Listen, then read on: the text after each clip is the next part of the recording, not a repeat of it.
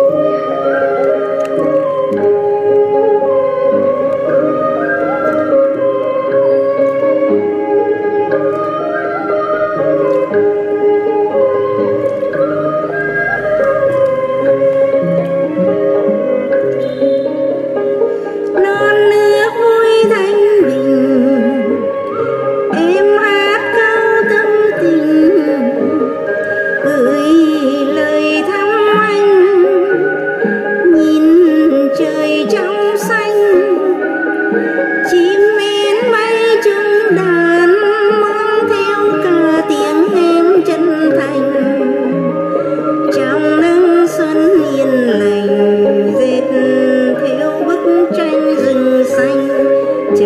praise